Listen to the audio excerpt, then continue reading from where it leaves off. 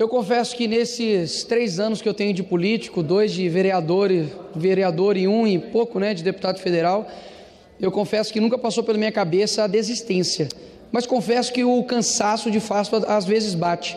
Isso aqui eu acredito que eu esteja falando em nome de muitos brasileiros. É impressionante como um país do tamanho do Brasil, com tantos recursos, com tantas boas pessoas, nós tenhamos um Estado tão preguiçoso, um Estado tão grande e tão ineficiente. É impressionante que muitas das vezes, quando eu venho subir aqui nessa tribuna, toda semana são tantos assuntos, né?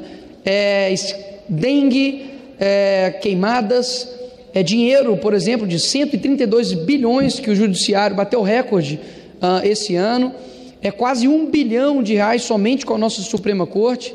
Nós temos ministros né, derrubando resoluções do CFM sobre a cistolia, que, caso os senhores não sabem, basicamente é uma injeção de cloreto de potássio no coração de uma criança para gerar cardíaca. Isso não é usada nem em penas de morte. Nas penas de morte, quando é usada, isso é colocado antes disso uma anestesia para não sentir dor para o criminoso. Mas para a criança aqui no Brasil, de fato, não tem nenhum problema. Ou seja, são umas sucessões de problemas e quando nós chegamos aqui, né, tanto esta casa, quanto o Senado, quanto todo o poder, entre aspas, democrático, que eles querem pintar que existe no Brasil, não passa realmente de um grande teatro, mas esse teatro pesa muito. Nós temos hoje pessoas presas, simplesmente por depedrarem, é errado, claro que é errado. Assembleia agora, né, de onde mesmo? A Assembleia foi invadida, né? Essa, essa semana no Paraná e não houve um pio de ninguém para prender essas pessoas como terroristas. Elas não são terroristas. Assim como quem também invadiu aqui também não é terrorista. Mas o que está faltando no Brasil, de fato, é mais do que dois neurônios. Porque parece que o brasileiro só tem dois: um pró e o contra. Ele não consegue analisar nada. Então, assim, de fato, eu confesso, eu jamais, meu coração jamais vai desistir desse país. Afinal de contas, eu coloquei uma criança aqui nesse país e é a maior prova de que eu acredito que isso vai melhorar. Mas eu confesso para os senhores, esse país ele não precisa, como muitos muitas das vezes me cobram. Ah, qual o projeto do Nicolas? Primeiro que eu não sou arquiteto, eu não vivo de projeto. E segundo, se projeto de fato, projeto por projeto mudasse esse país, o Brasil era Dubai, meus amigos. Chega aqui e vê quantos projetos estão parados em comissões, vê quantos projetos que são votados aqui.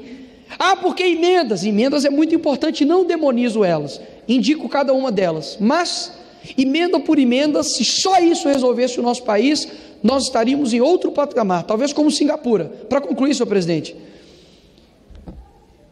Então, isso aqui eu faço como eu, eu de fato sempre falo que é com o coração e confesso que talvez este congresso aqui inteiro eu seja talvez o mais inexperiente, talvez o, mais, não o mais novo, mas talvez o mais inexperiente. Mas uma coisa eu posso dizer para os senhores: meu coração é muito honesto quanto àquilo que eu vejo e aquilo que eu espero.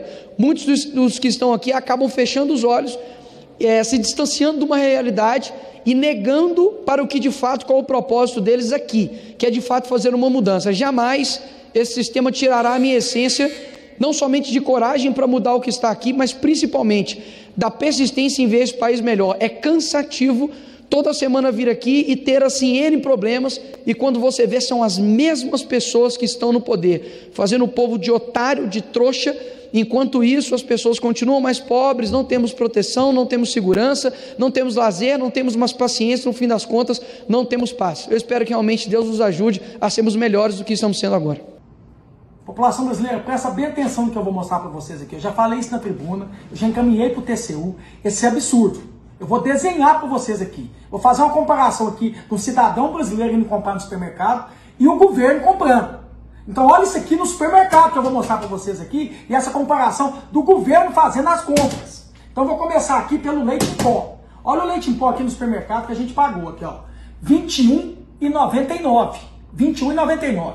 Agora, Olha quanto que o governo pagou. Olha aqui, 62 reais. Só que não é uma unidade, não. Vou mostrar para vocês aqui, ó. Leite em pó. Sabe quanto que foi? Uma lata de 400 gramas. Tá aqui, ó.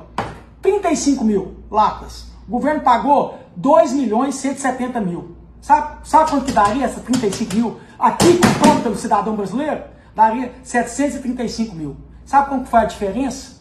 Quase um milhão e meio. Quase um milhão e meio. Agora vamos no feijão aqui para vocês aqui. Ó. O feijão que a gente pagou, a gente pagou 7,59 aqui no feijão. Tá aqui, ó. 7,59 foi lá no supermercado e, pagou. Agora, sabe quanto que o governo pagou? 27 reais. E não é uma unidade, não. É por atacado, que fica pior ainda. Agora eu vou mostrar para vocês aqui, ó. O feijão foi 52 mil pacotes de 1 quilo. O governo pagou 1 milhão 454 mil. Se tivesse pagado aqui, que a gente tá pagando aqui, ó, daria 394 mil reais. 394, sabe quanto faz a diferença? Um milhão de reais. Um milhão de reais. Aí eu vou mostrar para vocês que esse aqui para mim deve ter ouro dentro dessa sardinha. Ou esse governo que abriu licitação aí, abriu com dígito errado. Porque olha isso aqui quanto que a gente pagou na sardinha, gente. 7,49. 7,49 você vai lá e paga no supermercado. Sabe quanto que o governo pagou? 88 reais. 88 reais. Deve ter ouro dentro dessa sardinha. Mas vamos lá, vou mostrar para vocês a diferença. A sardinha é uma lata de 125 gramas, tá aqui, ó. 50 mil unidades. O governo pagou 4 milhões e 400 mil.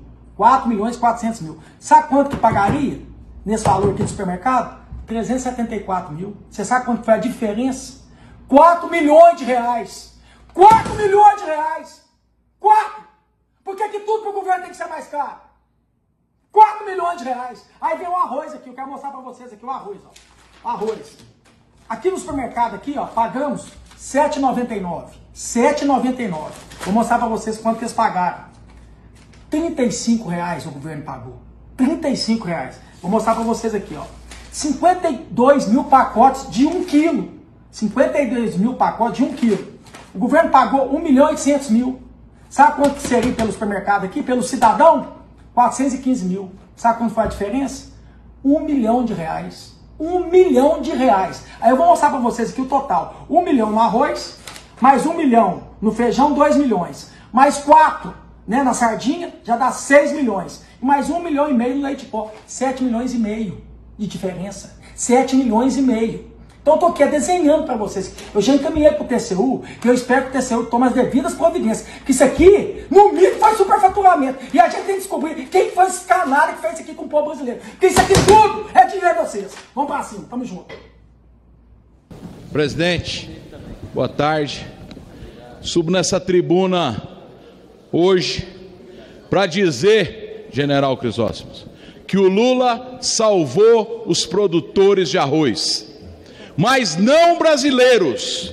Salvou os produtores de arroz do Mercosul, da Argentina, do Uruguai. Lula destina 7 bilhões e 200 milhões para a compra de arroz de fora do Mercosul.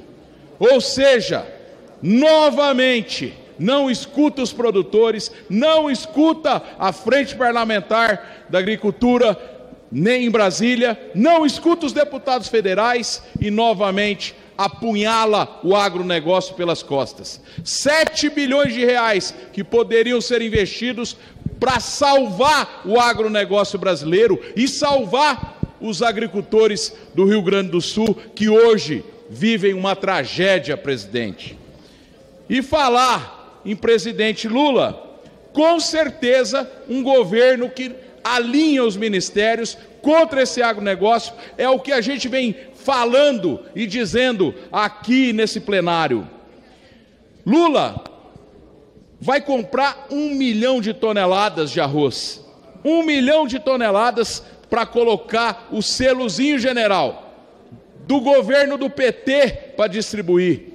Mas ele não está nem aí para o produtor de arroz brasileiro. Ele quer falir, quer quebrar o produtor brasileiro. Novamente, o governo do Lula trai o produtor rural. Novamente, é um descaso com o setor que alimenta o Brasil, com o setor que gera empregos, mais de 28 milhões de carteiras assinadas pelo agronegócio diretamente nesse país. É um escárnio que esse governo vem fazendo contra o agronegócio. E para acabar com tudo, o Ministério do Desenvolvimento Agrário chama o MST um grupo terrorista, um grupo que provoca o terror, promove o terror no campo, para participar da construção do Plano Safra. Ou seja, bota o lobo para cuidar das ovelhas desse país, esse governo É um desastre esse governo. E mais, já não bastasse a ministra Marina Silva chamar de ogro negócio aquele que produz alimentos, veio o ministro da Agricultura novamente, agora no dia 1 do 6, e chama o agro de fascista. Fascista, ministro, é aquele que alimenta o povo brasileiro. Fascista, ministro, é aquele que gera emprego nesse país. Fascista, ministro, é aquele que sustenta a economia desse país com um terço do seu PIB. Fascista, ministro, é o que também serve para trazer segurança alimentar para o mundo inteiro. Chega desse governo, chega desse desgoverno tratar o agro como não deveria, o setor primário que sustenta e move esse país. Respeite o agro, ministro. Respeite o agro, ministro.